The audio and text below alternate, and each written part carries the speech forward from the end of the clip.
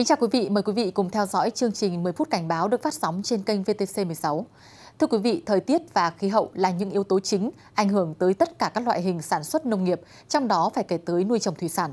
Thời gian qua, tình trạng nắng nóng kéo dài tại Tây Nguyên và Nam Bộ đã khiến nhiệt độ và độ mặn tại đây tăng cao. Có những nơi thiếu nước trầm trọng, tạo điều kiện cho mầm bệnh phát sinh gây hại cho thủy sản nuôi. Ghi nhận tại Cà Mau, vài năm gần đây cứ tới mùa nắng hạn gai gắt là hiện tượng cua chết lại diễn ra. Một số con thì chết nổi trên mặt nước, số khác lại bò lên bờ nằm chết. Tỷ lệ thiệt hại từ 30% cho tới 70%. Năm nay thì tình trạng này lại tái diễn và đã có hơn 1.900 hecta cua nuôi của hơn 500 hộ dân trên địa bàn tỉnh Cà Mau bị chết bất thường. Cua nuôi chết bất thường đã ảnh hưởng trực tiếp tới nguồn thu nhập hàng trăm hộ dân ở Cà Mau. Tại xã Lâm Hải, huyện Nam Căn, tình hình dịch bệnh trên cua nuôi đã xuất hiện. Khi sổ vuông, người dân quan sát cua có dấu hiệu bất thường, cua ra lú nhiều, có khi mỗi ngày cả chục ký, có cả cua nhỏ và lớn. Theo thống kê từ các địa phương, cua nuôi bị chết tập trung nhiều nhất ở huyện Đầm Rơi với diện tích 1.200 ha, huyện Nam Căn có diện tích cua nuôi bị chết hơn 600 ha. Đa phần cua chết đều bị đen mang, màu nhợt, bọng thịt, cơ thịt nhão có màu hồng, có nhiều giáp xác trên thân cua. Đa số là nó ốp, tức là nó không có thịt. Còn nếu có chắc thì cũng loại tứ, à, tứ thì có chắc vài con thì thôi chứ gạch thì không có. Thì nhờ ờ, các nhà khoa học với bên trên ờ, nghiên cứu coi nó như thế nào chứ ra thì bán cua xô thôi chứ đâu có dám để lại ở đâu. Để lại mới muốn nó chết nữa, nó lây. Là cua chết ở trên vuông, đó, hàng loạt nhưng là nhưng cua chết ghi nằm nó rơi rác nó nằm ở trên bãi còn có một số thì sổ ra đó, sổ ra nó chết ở trong cái đục lú luôn thì cũng báo với cũng nhờ cũng mà các cấp trên cũng có cái biện pháp hoặc là có nghiên cứu để hỗ trợ cho bà con khắc phục cái tình trạng mà cua chết trên địa bàn. Theo ghi nhận của Trung tâm khuyến nông Cà Mau, đến thời điểm này, toàn tỉnh có gần 2.000 hecta có dịch bệnh xuất hiện trên cua. Ngành chức năng tỉnh Cà Mau đã lấy mẫu cua nuôi bị chết, gửi đi phân tích. Theo kết quả phân tích mẫu từ Viện Nghiên cứu Thủy sản Nam Sông Hậu, cua chết có ký sinh Zotamium spp, giáp xác chân đều, ký sinh trùng. Chi cục chăn nuôi và thú y tỉnh Cà Mau khuyến cáo người nuôi cua phải thu hoạch ngay số cua còn lại trong vuông có cua bị bệnh để hạn chế thiệt hại. Không nên thả thêm con giống vào thời điểm này. Thường xuyên theo dõi các yếu tố môi trường để kịp thời cấp thêm nước vào vuông nuôi nhằm hạn chế nhiệt độ và độ mặn tăng cao.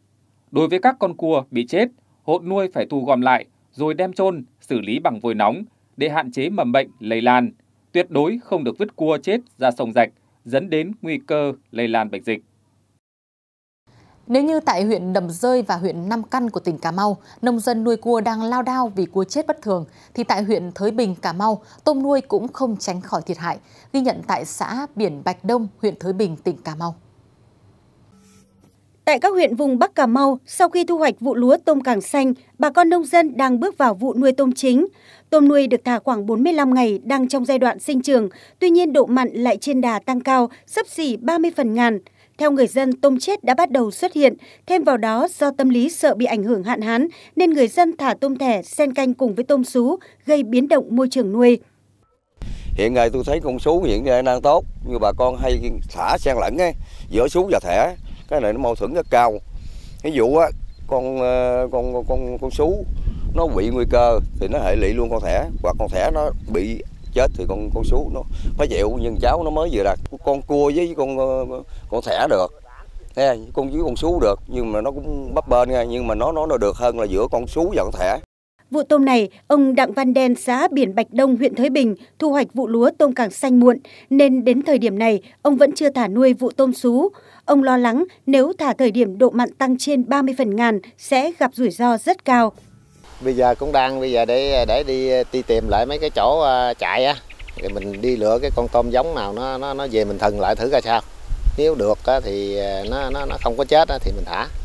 Còn nếu chỗ nào mà mình bắt mà về mình nó nó nó thả vô mình thân nó nó không chịu á thì mình đổi chỗ khác. Tại xã Biển Bạch Đông, cán bộ Trung tâm khuyến nông Cà Mau tiến hành đo độ mặn. Kết quả độ mặn ngoài sông là 29 phần ngàn, trong khi độ mặn trong đầm nuôi lên đến 31 phần ngàn. Đối với độ mặn hiện tại chưa ảnh hưởng nhiều đến tôm nuôi, tuy nhiên thời gian tới độ mặn tiếp tục tăng do nắng nóng, có thể vượt ngưỡng cho phép sẽ ảnh hưởng rất lớn đối với tôm nuôi. Thì chúng ta cũng cần phải sử dụng thêm các cái nhóm phân sinh học để cho là gây cái màu nước là gây cái màu nước với cái mục đích là chúng ta là gây cái màu nước để tránh cái tình trạng là ánh sáng nó chiếu xuống tầng đáy. À, nó sẽ làm cho là cái nước của chúng ta nó uh, bị trong hoặc là nước chúng ta nó sẽ ờ, sinh những cái cong đáy nó phát triển. Như vậy thì nó làm cho cái khả năng mà bốc hơi nước nó sẽ nhiều hơn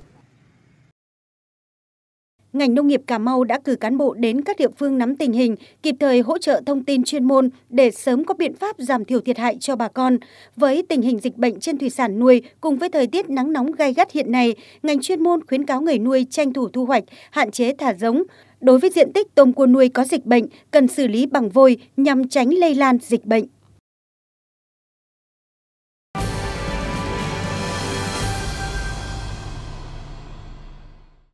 Thưa quý vị, nắng nóng cũng khiến nhiều diện tích nuôi trồng thủy sản tại Kiên Giang thiệt hại nặng nề. Ghi nhận tại ấp Ngọc Hải, xã Đông Hưng A, huyện An Minh, tỉnh Kiên Giang, nhiều diện tích nuôi tôm đã bị chết hàng loạt. Chính quyền địa phương tại đây đã cử cán bộ chuyên môn đến địa bàn để thu thập thông tin, thống kê thiệt hại.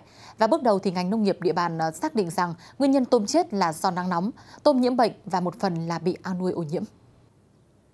Huyện An Minh, tỉnh Kiên Giang có 47.000 hecta có diện tích nuôi tôm, trong đó 42 hecta nuôi tôm công nghiệp, chủ yếu tôm thẻ chân trắng, còn diện tích nuôi tôm lúa là trên 39.000 hecta. Trung bình cứ mỗi hecta, bà con thả khoảng 20.000 con giống.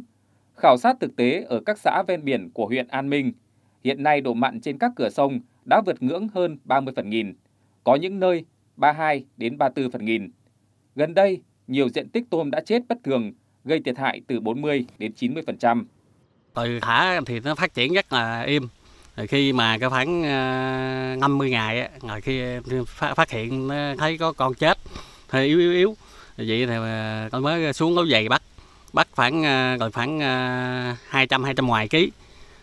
Kéo theo cua cũng ảnh hưởng thôi, cua cũng chết. Nó chết muốn hết luôn à không còn cái gì dưới. Hình như là mắt trắng hết trơn mắt khoảng 80 trăm 8 trên 10 trăm. Và không không có thu được gì hết nhận định tình hình khả năng dịch bệnh có khả năng tăng cao. Lý do là hiện tại là cái nhiệt độ nước nóng và đồng thời cái tình hình hạn hán thiếu mưa à, làm cho các cái độ mặn ở các kinh thủy lợi cũng như là các cái vuông nuôi, cái độ mặn tăng cao sẽ gây bất lợi trong cái môi trường nuôi trồng thủy sản.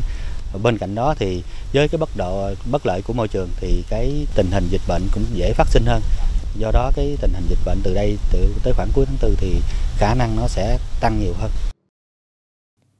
Toàn tỉnh Kiên Giang có gần 13.000 hecta nuôi tôm, trong đó tôm lúa hơn 100.000 hecta, quảng canh cải tiến hơn 22.000 hecta, còn lại là thâm canh, bán thâm canh 1.623 hecta. Diện tích tôm bị thiệt hại trên địa bàn toàn tỉnh là khoảng 53 hecta. Mặc dù diện tích tôm thiệt hại rất nhỏ so với tổng diện tích nuôi, tuy nhiên hiện nay thời tiết diễn biến thất thường, chênh lệch nhiệt độ ngày và đêm tại Kiên Giang cao nên dịch bệnh có thể gia tăng và lây lan. Để dập dịch bệnh hiện nay là chúng ta sử dụng cái hóa chất là chlorine để chúng ta dập xuống ao để diệt cái mầm bệnh và chúng ta giữ nước lại. Cũng đề nghị là các cái bộ chuyên môn ở địa phương đó chúng ta tăng cường xuống địa bàn đồng thời kịp thời với cái người dân phát hiện sớm các cái ổ dịch để có những cái biện pháp chúng ta xử lý kịp thời. Ngành chuyên môn khuyến cáo người nuôi tôm để hạn chế mầm bệnh xảy ra cho tôm nuôi, đặc biệt là các loại mang mầm bệnh trung gian xâm nhập vào trong ao người dân cần phải tăng cường công tác thăm ao vùng tôm. Khi phát hiện dịch bệnh, cần báo ngay cho cơ quan chức năng gần nhất. Những thông tin vừa rồi đã khép lại chương trình 10 phút cảnh báo của chúng tôi tại đây. Cảm ơn quý vị đã quan tâm theo dõi. Xin kính chào tạm biệt và hẹn gặp lại.